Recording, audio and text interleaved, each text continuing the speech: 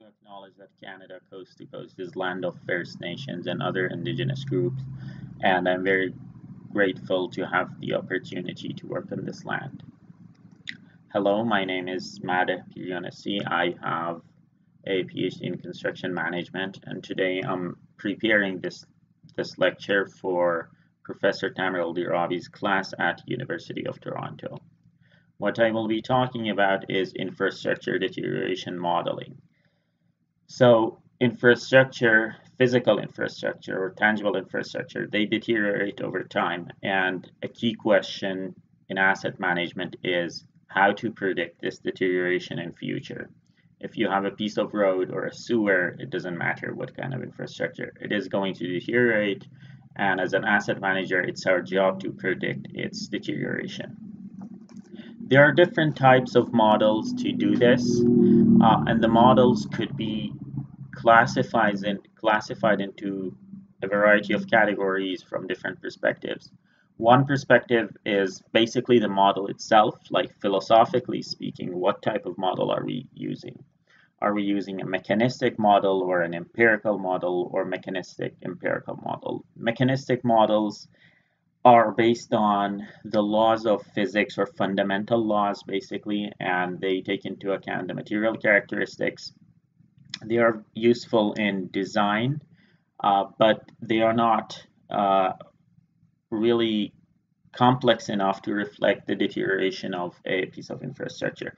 What I mean by laws of physics is um, are the laws that are unchangeable and they are true no matter where you are. For example, um, the second law of Newton, um, or when we say in uh, strength of material sigma equals to E epsilon, that's basically a, um, a mechanistic model because uh, when you um, when you stretch something, when you pull some material from two sides, it's going to stretch, right? Um, and things of that nature. These are mechanistic models. There is another category of models called empirical models. As the name suggests, they are based on um, doing numerous experiments and measuring the data and develop, developing statistical models. So the, this category of model only rely on statistics. And unlike uh, mechanistic models, they could be correct in a certain circumstance, but in another one, they could be uh, very inaccurate. So what I mean by statistical model, for example, you measure the amount of precipitation and you correlate this with um, uh, the surface of road and its roughness. For example, you conclude that with 100 uh, additional millimeter of precipitation, the roughness increases by by one unit, for example, one meter per kilometer that's a lot, but um, as, a, as an example. So that's an, an empirical model. Uh, obviously, this type of model has its own limitation too because it should be recalibrated every time. And it doesn't take into account uh, some of the characteristics of, of the material. There is empirical mechanistic or mechanistic empirical ME models. These try to merge the two previous types of models and uh, develop model using both uh, mechanistic and empirical reasoning. So this is from one perspective. From another another perspective, it is important to know what mathematical function or formula do you use for your modeling. Roughly, very broadly, models may be um, divided to deterministic models or probabilistic models. And deterministic models, as, they, as their name suggests, they are deterministic. They do not entertain probabilities, but probabil probabilistic models, on the other hand, they can consider probability and tell you what is the probability of failure, what is the probability of having this certain condition. So in this slide, I tried to kind of put together a um, a categorization of uh, these different models being um, probabilistic and deterministic and so on. and uh, this is a categorization that I am putting forward and like every other classification or categorization there is some element of reduction in it um, so you may not agree with some of it but if we follow the, the, this path for example uh, first we have probabilistic models and deterministic models deterministic models could be empirical or mechanistic empirical for example and they they are usually based on one equation oftentimes it could be a linear equation or a nonlinear equation. Probabilistic models use a mathematical uh, formula as well. For example, one big category of them are machine learning or AI. And machine learning algorithms themselves, they could be uh, divided into classifiers or, uh, for example, machine learning regression algorithm. Machine learning classifiers predict a class like KNN, decision tree, um, and so on. So in for a classifier, we are predicting a class, for example, good or bad, um, or acceptable, non-acceptable, things of that nature. But in regression models or machine learning regression models, we predict a value, for example, 100.2. There are other types of models, pro probabilistic models, that I am going to allude into and speak about almost all of them one by one with an emphasis on machine learning.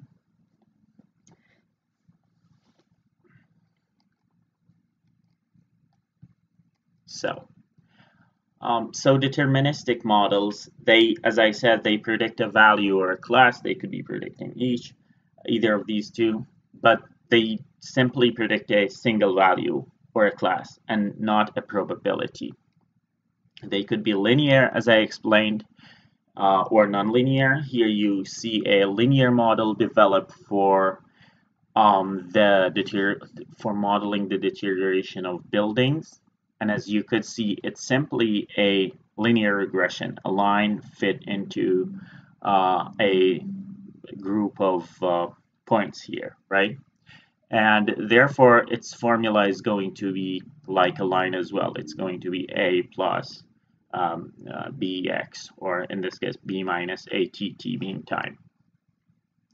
Or the model could be nonlinear, like what we have here on the left, which is showing the deterioration of roads uh, based on age or based on time passed since its construction. And here we have three nonlinear curves or sigmoidal curves. They are very popular in the realm of pavement engineering. Um, and they are developed for three states in the United States, Arizona, Florida, and Utah. And as you could see, uh, this is quite nonlinear. And as you can see here, their formula is different from the linear um, linear one. Here we are using a, an exponential function. Here we are using a linear function. This one is for pavement. This one is for buildings. But one thing that these two have in common other than being deterministic, it's the fact that they are both empirical, meaning that they are correlating deterioration to one factor that is not uh, that is simply based on statistic. Uh, it's based on this regression formula they found, which is in this case the, that attribute is age. So if you take a set of other buildings, they do not necessarily um, fit into this model. Or if you take a set of different roads in another state or another jurisdiction, they do not necessarily be similar to this curve. They may be different. Um, but anyway, so so they are in this case deterministic and um, as I said empirical. Deterministic models could be also mechanistic empirical. This is a an example by AASHTO um, in their famous uh, mechanistic empirical pavement design guide. Um, I think it's a 2008, yes, 2008 manual. And uh, you could see here that IRI is correlated with several dif different factors that have to do with material characteristics or the uh, environmental factors and so on and so forth. So IRI, for those who are not familiar, I hope you already know about this, but it's International Roughness Index. It's a, a measure of how rough pavement is. And I'm going to come back to this in the rest of the presentation. But anyways, you could see uh, is correlated with initial IRI, this SF factor, which is site factor. It also has a bunch of other attributes in it, including precipitation and so on, and rut depth and uh, fatigue cracking and so on. So this one, again, a deterministic model, but a um, type of uh, mechanistic empirical model. One way in deterministic models, a good way to use this type of model is to, if I go to the previous slide, instead of using simply one line, one good trick is to use the 95% confidence interval. That way we could have a range instead of just one single line and sort of could take into account some of the uh, stochasticities about these models. So with that, I am going to talk about probabilistic models a little bit. And uh, I could, again, categorize them into maybe three main categories. Um, again, people may use a different set of categorization. Um, feel free to do so. Uh, but in my view, they may be uh, categorized as reliability-based models, such as structural reliability analysis or survival curves, and random processes. Um, examples are Markov models or gamma process, and at the end, machine learning or artificial intelligence, as well as uh, known as uh, uh, AI. So examples are neural networks or examples of machine learning algorithms or decision trees, random forests, and so on. So let's get into them and see what they are about one by one. So reliability-based models, as their name suggests, they are based on reliability theory.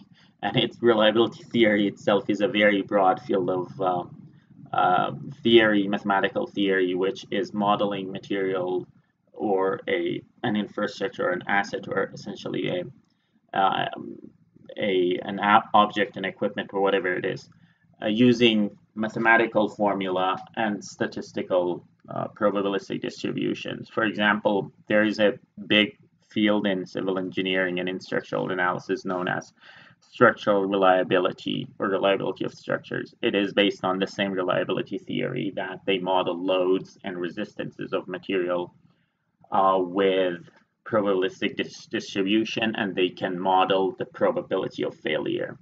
So one of the common models used in this um, in this category is known as survival curve which is based on survival analysis and survival analysis is essentially explaining the time to failure which means for example if you have a set of buildings how long does it take this certain building for its window to fail or for its wall to um, uh, degrade into a certain uh, condition. And this is called time to failure. And we use uh, survival analysis to do so. This is used in medicine as well for patients and so on. Here's an example, the graph that you could see here.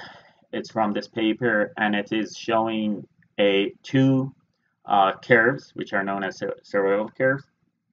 They are developed using this, uh, me this method called Kaplan-Meier estimator, which is essentially uh, saying what percent of these um, these buildings are going to survive over over these years so from 0 to 100 years and you could see that the residential building the blue curve and the solid curve um, it is um, overperforming the non-residential building, which is the dashed curve down there.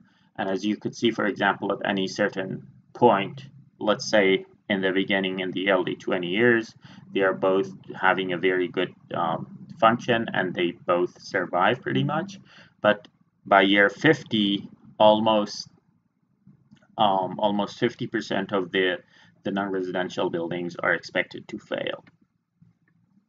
So another category of probabilistic models are process, uh, random processes.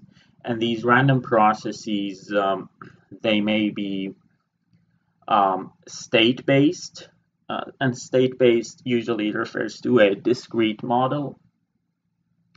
And um, a very famous example of this category of models is Markov model. Um, and gamma distribution is another example, but Ma Markov model is widely used and very famous. So hopefully you are familiar with um, Markov models and uh, or in the next lectures maybe you would get to learn about them.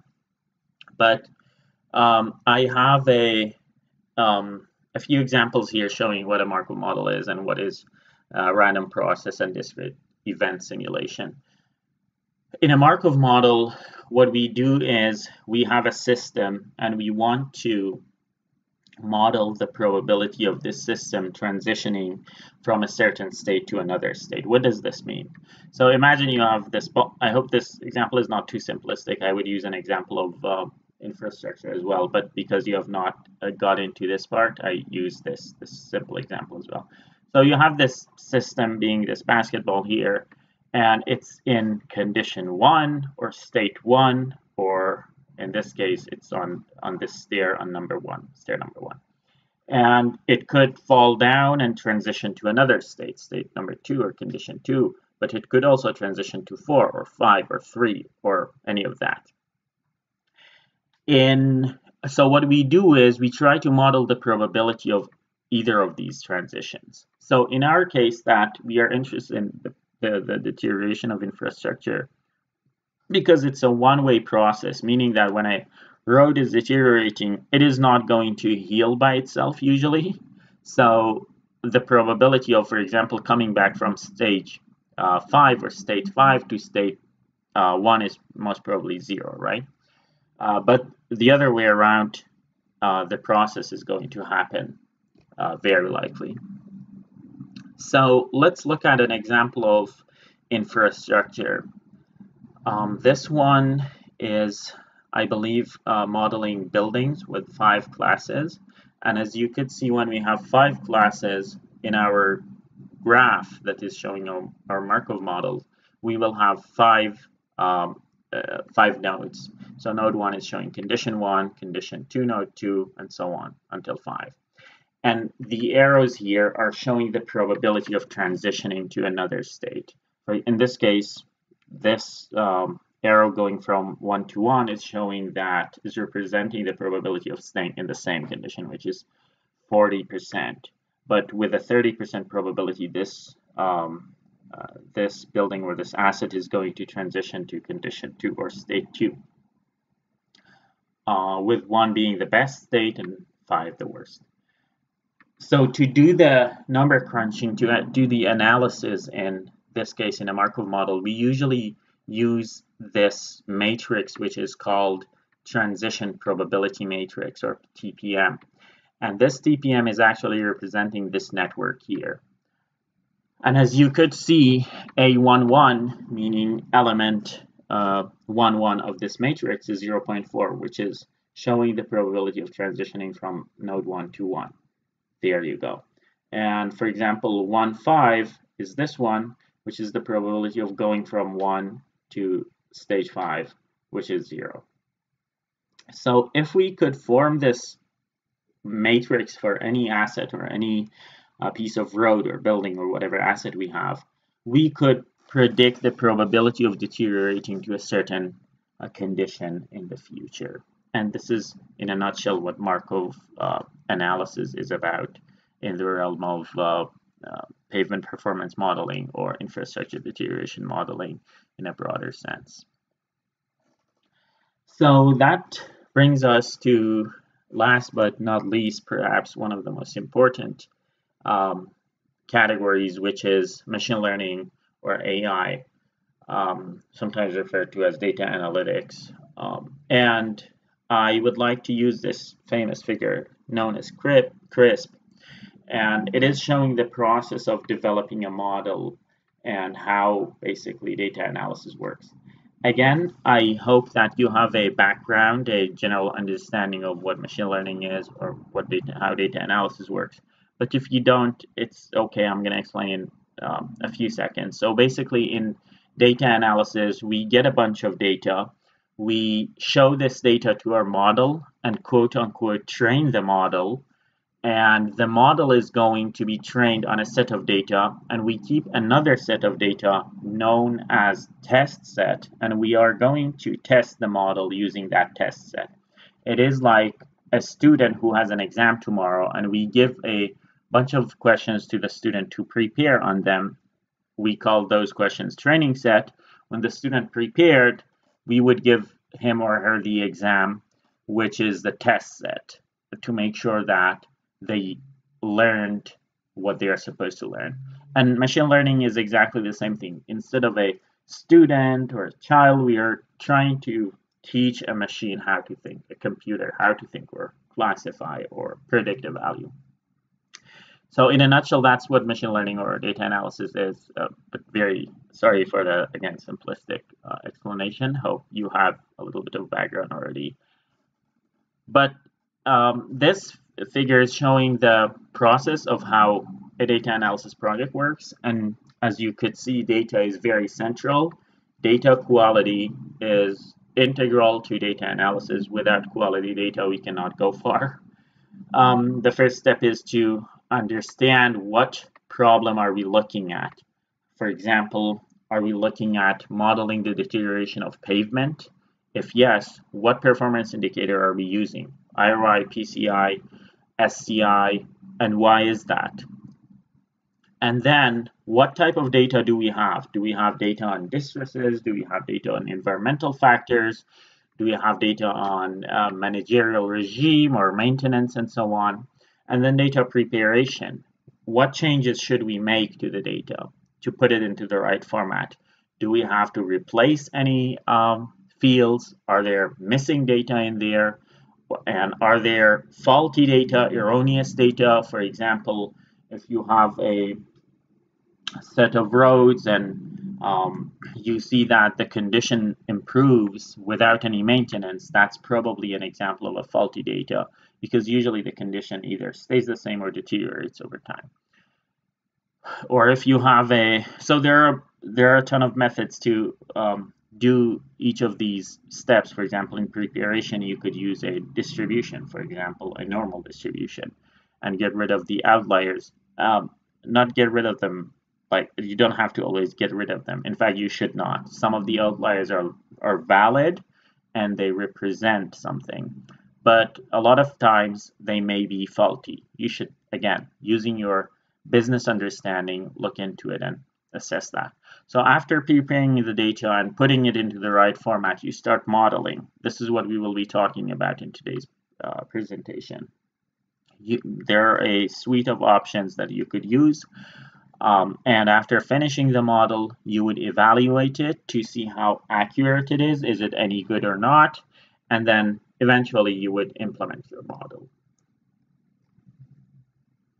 So with that, I'm going to um, explain a uh, part of what I did for my PhD work, which included deterioration modeling for pavement. And uh, it was used, it was based on machine learning algorithms. Um, and the, the uh, the pavement performance indicators I used were Pavement Condition Index and International Roughness Index. The first one is known as PCI, the second one is known as IRI. PCI is a measure of how well the condition of road is. For example, if there are no distress on your road, your PCI is 100.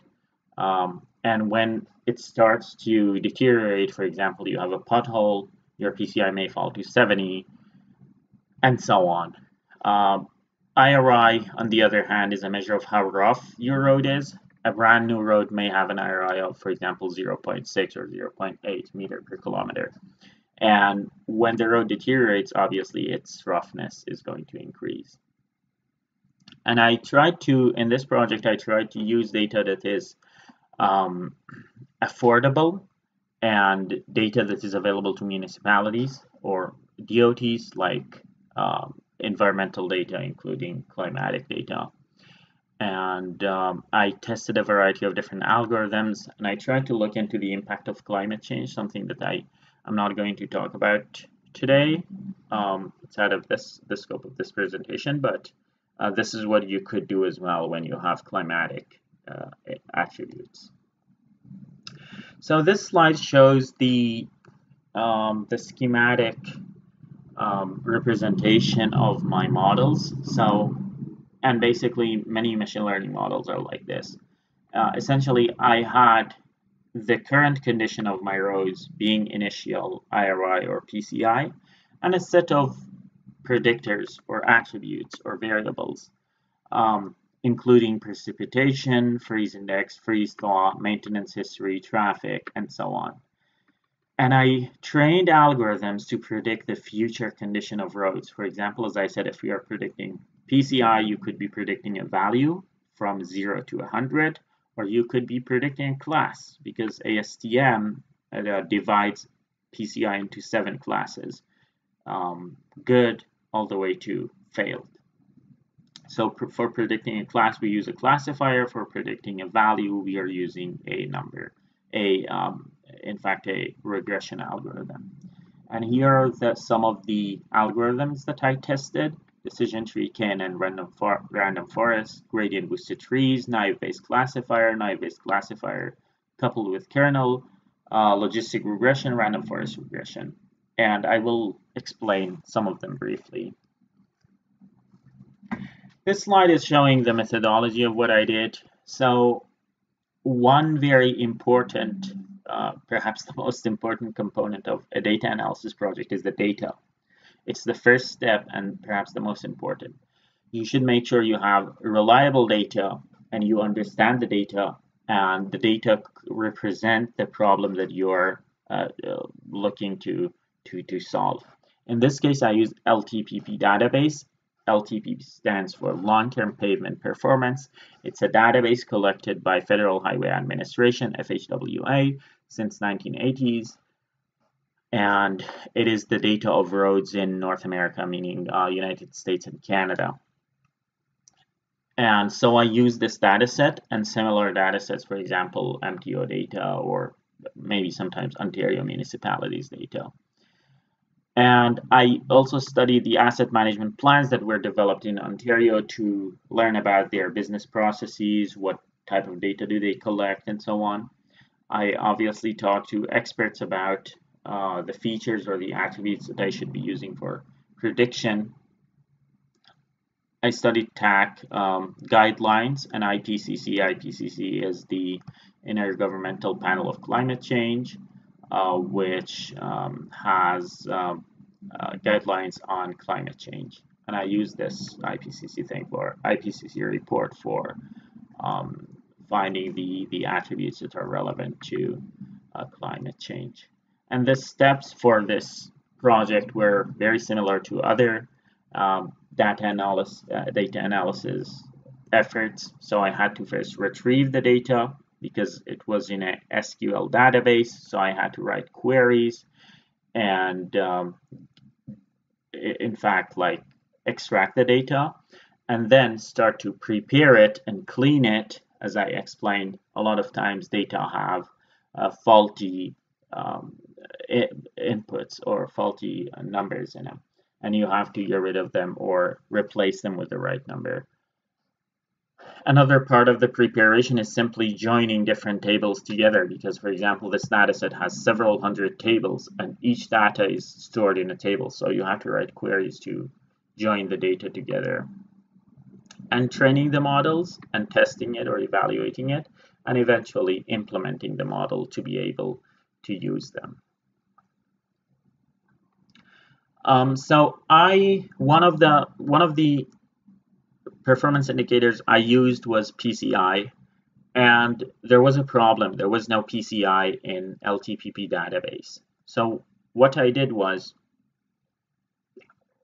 excuse me what I did was I tried to use the ASTM methodology to calculate um, PCI from the distresses. Uh, distresses meaning fatigue cracking or uh, potholes or um, flushing and the, these different types of or rutting or these different types of distresses that we have. So I had to um, automate the PCI calculation because there was thousands of examples of roads there and I couldn't just go through the ASTM methodology and do this um, manually. But there was a problem that the ASTM curves were very um, not really easy to use and they were not digitized at all. They were very old. So to be clear, this one is the curve. This is from a an ancient book and I can't help it really how similar they are. but what I did was I tried to digitize these curves uh, that I will talk about in, in a second how I did it. Essentially what I did, let me go back. Uh, what I did, I picked a number of points here and I fitted curves to them to find the mathematical formula. But anyway, before that, I would like to explain also how PCI itself is calculated uh, because this may be useful. PCI, as I said, it stands for pavement condition index and it is a um, sort of a an aggregate an aggregated um, index showing how well the road is doing. And what we do to calculate PCI is that we collect, collect data on these different distresses. For example, edge cracking, pothole, um, alligator cracking. We calculate something called deduct value using the, the ASTM graphs. ASTM has a bunch of graphs for these distresses. And then, as I said, I had to find the formula for them, which I did. Uh, here's an example for pothole. Um, as you can see, it's a polynomial function. And later, we have to correct these deduct values in another step and use this set of curve that I have to, again, find the formula for them. I am going to explain how I extracted the formula I already did. Uh, so essentially, by picking a number of points on the curve and trying to reverse engineer and fit a curve into it, and find the formula for that, um, that certain curve. So, and here's a flowchart of how to calculate PCI. Uh, if you go to ASTM, it is explained very well. If you go to my papers, uh, you could see this flowchart and it is explained there as well. So as you could see, it's a repetitive process calculating PCI. Therefore, computers could do very well in it. And this PCI calculation was needed to uh, train the, the, the algorithms. My analysis had a few facets as I briefly explained before. Uh, the, the type of algorithm itself was important, what algorithm to use, because it's not a trivial choice. But because um, I was doing a scientific study, I um, trained different algorithms and compared them and made some points about using different types of techniques. The data size is very important and I look to the impact of it. The informativeness of attributes. What attribute is more informative? Meaning that if we are to you, if we are to choose, say, um, 30 attributes out of 30,000 attributes, which attributes should we pick? This was actually what I did. Like perhaps the um, LTPP database has thousands of um, attributes in it because it has hundreds of tables, so probably uh, in the order of hundreds or thousands of features as well. Which one are the features that are the most important for us? And I use different types of analysis, such as using uh, confusion matrix, using using random, uh, using ranking algorithms, and there are other ways. And uh, finally, getting to know your data by segmenting your data is important too because the data set that I was using, LTPP, it is not like the data of a municipality or even a DOT. It is collected all over North America. So if you're not careful, there's a lot of noise in it and a lot of uncertainty that could cause um, damage to your model and make your models really inaccurate. So uh, you could look into subsets of this data and see how it is going to affect your, your model. For example, the data of a certain climatic region or the data of roads with a certain maintenance pattern. These are all important, uh, important features. Um, so as I said, the first step is data retrieval, followed by data preparation and cleaning, for um, data retrieval, I in I extracted more than 3,000 records for PCI and around 30,000 examples for IRI. The, I'm referring to the clean data. The original data was obviously bigger. And uh, the the preparation and cleaning I already explained. It had I had a few problems. First, not having PCI, so I had to spend uh, several months preparing the the PCI data, getting rid of the erroneous examples, um, replacing the missing data. For example, traffic data was missing in many cases, or other other examples like uh, maintenance data sometimes were missing. So I had to either replace them or do something about them. And feature selection, again, which attributes to choose. Uh, in in this case, our criteria was the cost of collection of that data and whether it's available to municipalities. And another key consideration was uh, can we use this in climate change analysis? And climate change is um, uh, something that we could examine using this broad data set. And why is that? Because if you look at this broad data set, this LTPP data, it's collected all over North America from Texas to uh, Manitoba. So what I'm saying, what I want to say is uh, there's this study by these researchers at this link if you go to it is showing that climate change is really affecting our communities in our cities and the climate of our cities and say by 2080 depending on which climate scenario you pick it is going to be very different. For example toronto according to these um, authors it's going to look like new york city or maybe somewhere yeah new york city almost. Or montreal itself is going to look like uh, new york too. New york itself is going to look like another city down there so having this very broad data that is collected, collected all over North America, it gave us the opportunity to be able to look into the impact of climate change as well. Okay, so the algorithms, we get to talk about the algorithms now. As I said, um, one of the limitations of these, these empirical models that I already explained what they are about, a limitation of them is that they are based on um, attributes that are basically only statistically correlated with the um, the health of pavement, in this case PCI. And a lot of times municipalities or DOTs, they simply use age-based deterioration models. And they could be a little bit misleading. This is a good example by this author. And um, as you could see here, we have three deterioration curves, um, Arizona, Florida, and Utah. And we naturally expect the deterioration curve for, for example, Arizona to be the least perhaps or at least less uh, less aggressive than uh, Utah and Florida.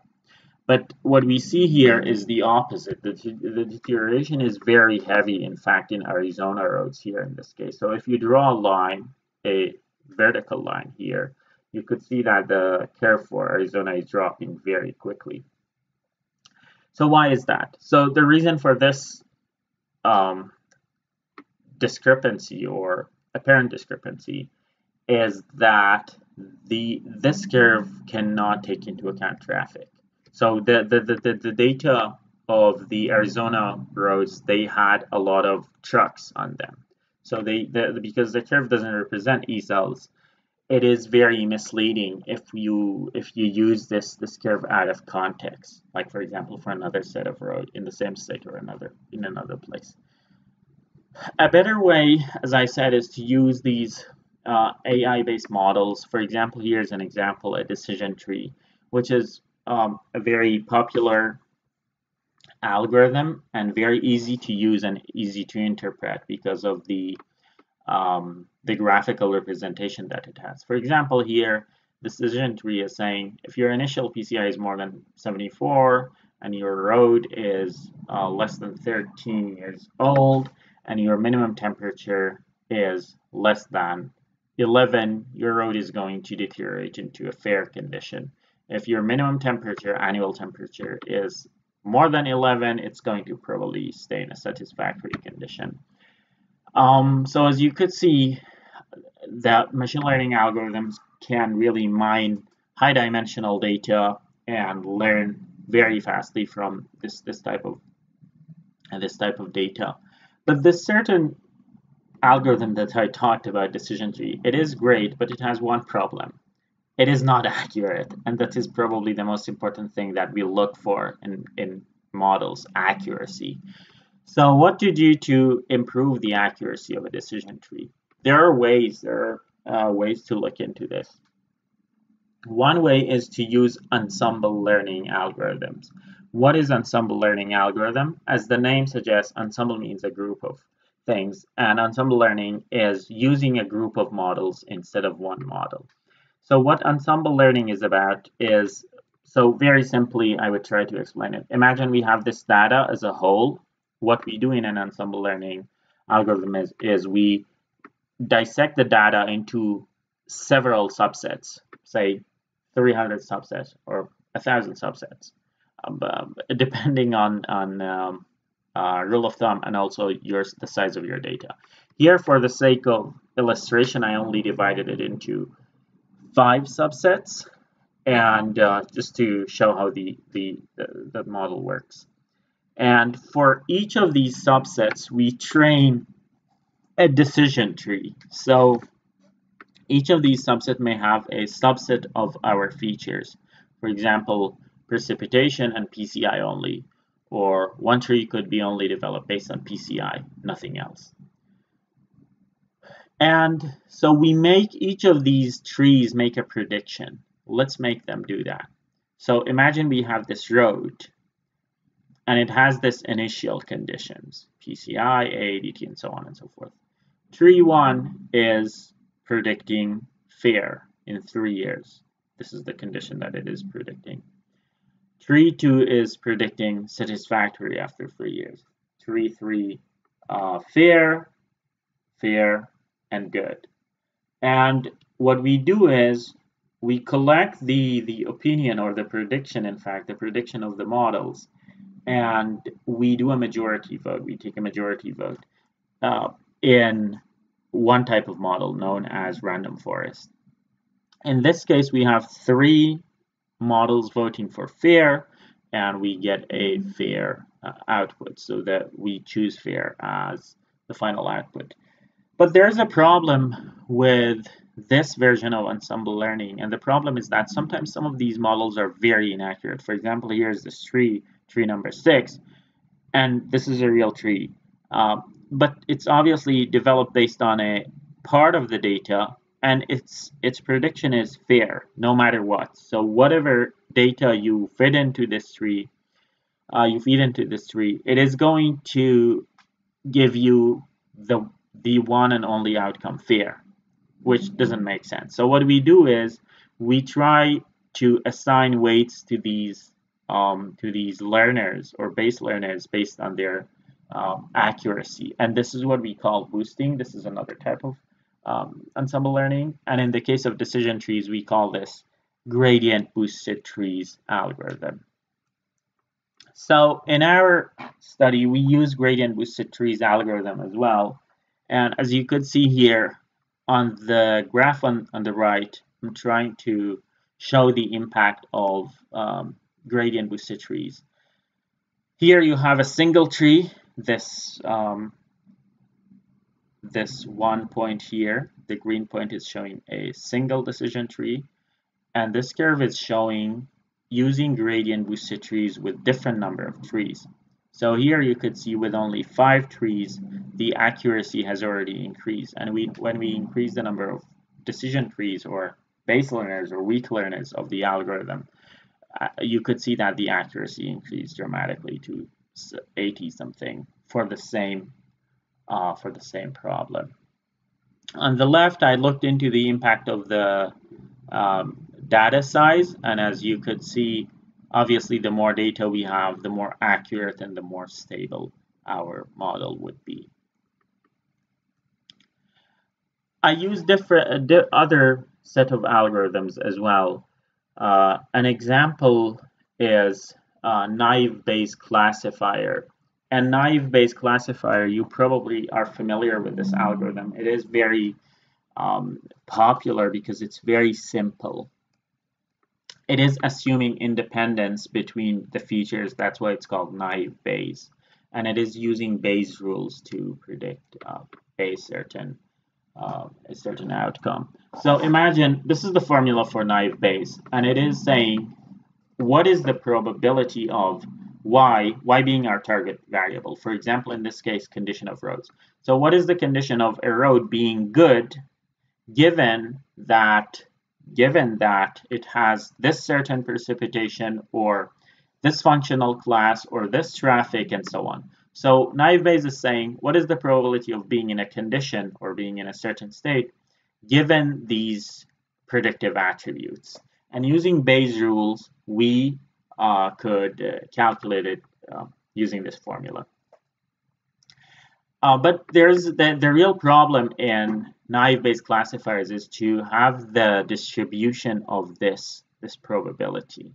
And what a naive Bayes classifier does for the um, for the discrete uh, variables, it is going to just count them and use a histogram, but for a continuous variable, it is going to use normal distribution. But there's a problem. Some of the sometimes the distribution of the data is not normal. So this is using a normal distribution for a feature of our data set being freeze thaw cycles, number of freeze thaw cycles per year. But again, as I said, sometimes the real data is non-normal. So this is the real data distribution that we have. That is where we could use, oops, sorry, that is where we could use a type of estimator known as kernel density estimator. And it is essentially a localization technique that tries to estimate the, the distribution of a, um, of a curve like more realistically. And in this case, for example, we use three kernels to uh, estimate the probability, the, the, the, this uh, distribution function. So in the case of predicting uh, uh PCI, if we use a naive Bayes classifier, the accuracy is only 55%, okay, which is really not high. But if we use uh, a um, only three kernels to predict the distribution of that probability distribution, we get a 73% accuracy. And why is that? Because the, the, the distribution is more realistic if, we, if it is estimated using this. And think about it, for example, in this case, if you look at the probability of having minus 20 freeze thaws, it is non-zero in this curve, right? Uh, minus 10 freeze thaw cycles, which doesn't make sense because freeze thaw is a number. It's an integer between 0 and uh, say 365 because you have 365 days per year. But here that probability, the same probability is very close to 0. So the more more realistic prediction re results in a more more accurate model. And as you could see here, by including more kernels, the accuracy of the naive Bayes included uh, increased from 55% to 90%. This is using another. This slide is showing using another algorithm, KNN, and um, KNN um, stands for k nearest neighbor, and it is an algorithm based on measuring distance. Uh, therefore, because it is um, including distance in its prediction, it is very important to normalize the data. Here, here I try to show the accuracy of the KNN based on its only parameter, the number of neighbors. Uh, but what I did was I normalized the data, and once I did the prediction without normalization. And the blue dots show uh, the accuracy after normalization, and clearly it is way above the non-normalized data. And the reason, again, is that uh, we have to normalize it because it is using um, distance. It could be Euclidean distance in, in prediction. This slide is showing how by uh, segmenting the data into climatic region, you could increase the accuracy. You could refer to my papers to, to see um, how we segmented the data into different, for example, climatic regions, dry freeze, dry non-freeze, wet freeze, and wet non-freeze. And the model did a better job inside each of these subsets despite the fact that the size of data decreased. So I'm going to go through this quickly and go to my next slide. This slide is important because it is showing an important evaluation technique known as confusion matrix. So a lot of times what you hear for a classifier is a, a one number evaluation. Say people say my classifier is 90% accurate or they say it's 50% accurate. So what does it mean? Okay, so you have this model that is 90% accurate. So we know that it is getting the answer right in 90% of the time. But what about the other 10%? How fatal are the mistakes that this model is making?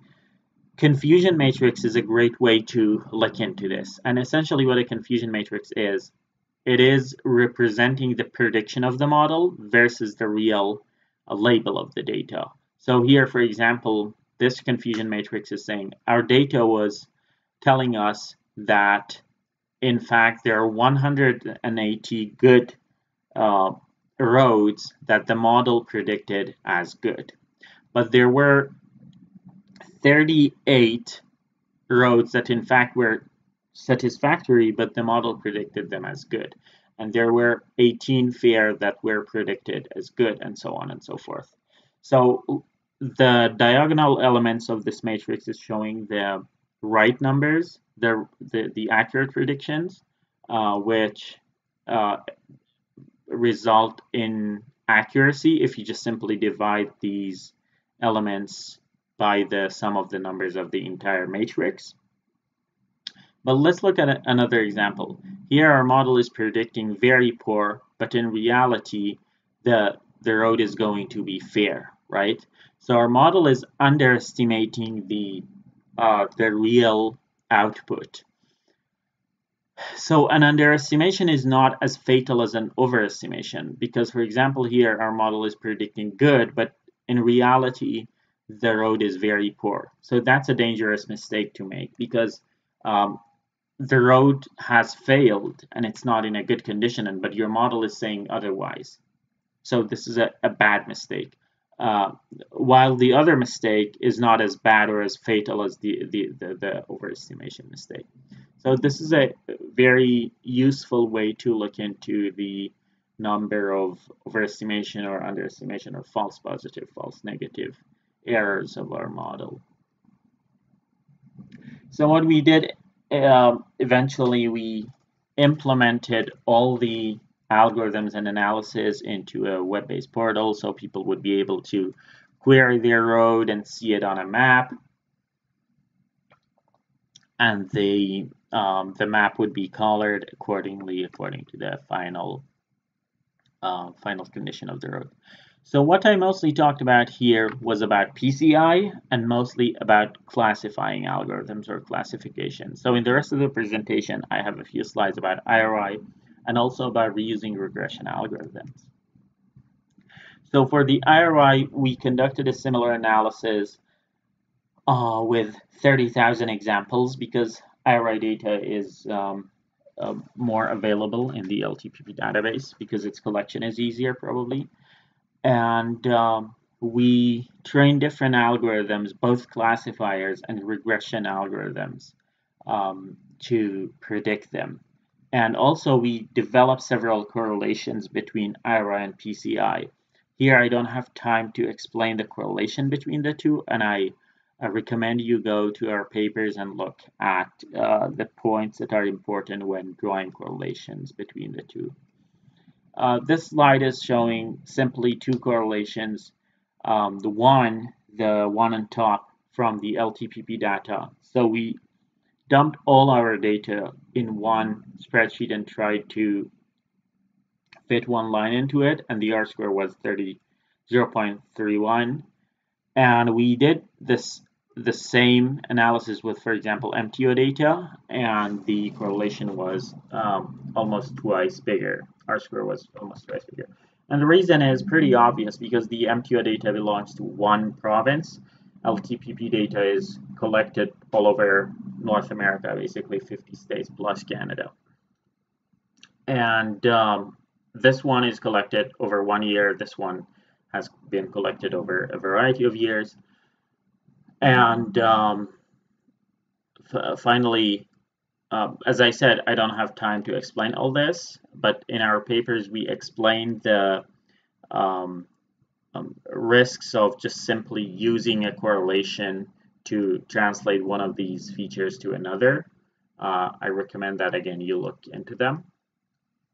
This um, slide is pretty useful too, showing that how the algorithms did in predicting IRI versus PCI. So this row here is showing IRI prediction and the second row is showing PCI prediction. The first column shows the result of a linear regression, the simple linear regression that we are all familiar with. And the second column is showing a, an ensemble learning algorithm known as random forest regression.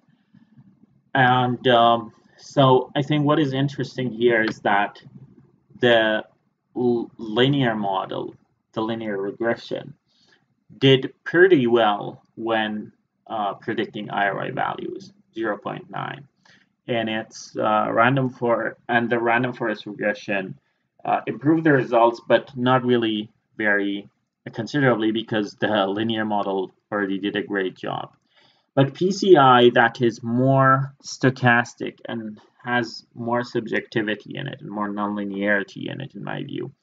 Um, the the the linear algorithm, its R square was 56%, and when we use the uh, the ensemble learning algorithm, the random forest regression, the accuracy was increased to 0.72 meaning that there was more room for improvement and the ensemble learning uh, did a good job in improving the, uh, the prediction accuracy.